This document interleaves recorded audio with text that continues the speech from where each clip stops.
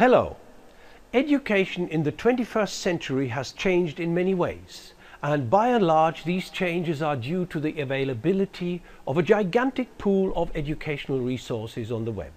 As one of my colleagues put it, the knowledge is now on the web and no longer just in the teacher's mind. Today we have a new generation of students requiring a different model of higher education. So, as often predicted, the future is already here. And one element of today's educational scenarios where students are autonomous learners is digital content. In the case of the Virtual Linguistics Campus, students are given the content by means of multimodal e-learning units combining highly interactive multimedia content with instructional video and flanking materials such as digital texts.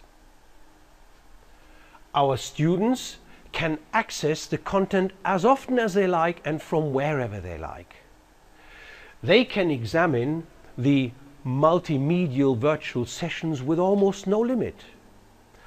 They can watch the e-lectures on their mobile devices and use the e-lecture board content that was created during the recording of these e-lectures.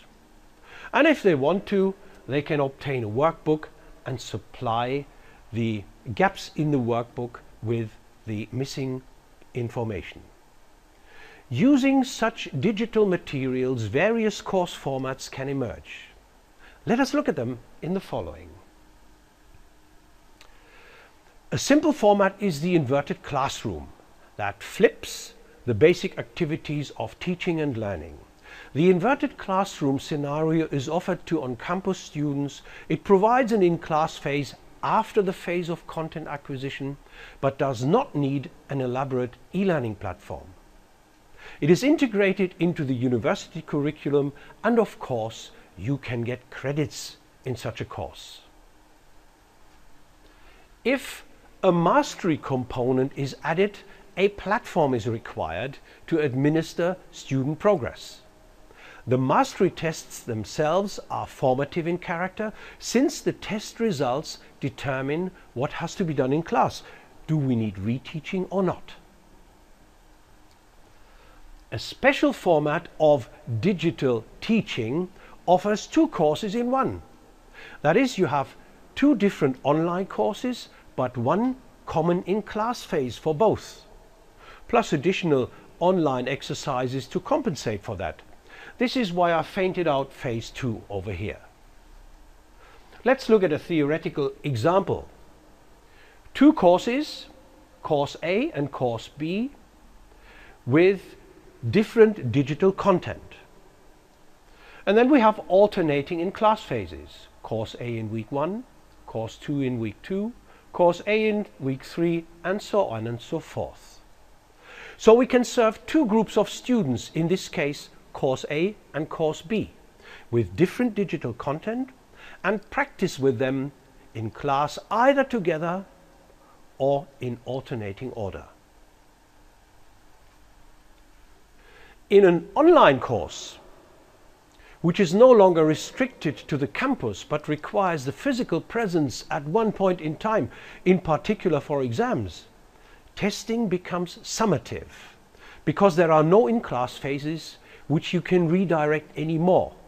By the way, this might change pretty soon on the Virtual Linguistics campus because we are working on adaptive testing methods that determine the type of additional digital material to be given online. If an online course is opened to anyone, it can no longer be certified by a university. So we have to get rid of that logo over here. Because in order to gain credits, you have to officially enroll. And this runs counter to the openness concept. By the way, in open online courses, we need a forum individual feedback is no longer advisable, rather the in-class participants should solve their problems on their own. The same applies to MOOCs, the massive open online courses. No credits, no feedback, but a forum. Additionally, we need a very specific platform that can handle large or massive numbers of participants. The platform has to collect test data. The platform has to automatically distribute statements of participation, statements of accomplishment, etc. So MOOCs are nothing else but massive, open, inverted classroom classes without credits and without in-class activities. And this allows us to use MOOCs in an on-campus fashion. With an additional in-class phase, which also involves digital practicing material, and the physical presence of our students, which means they have to officially enroll, we can return to formative assessments, replacing the summative ones. However, we're losing the label open, so this has to disappear. As a result, we get an IMOC, an inverted massive on-campus class, a class that requires digital teaching materials and combines the MOOC principles, that is no tuition, but peer-to-peer -peer discussions via a forum with those of the inverted classroom mastery model, formative testing and in-class meetings as practicals. Such classes can now serve hundreds, if not thousands of students. And if you don't have a lecture hall that is large enough for your audience, just split the class into subgroups in accordance with the two-in-one concept. So, with MOOCs, we serve the world, and with IMOCs, our own campus students, especially if they come in large groups.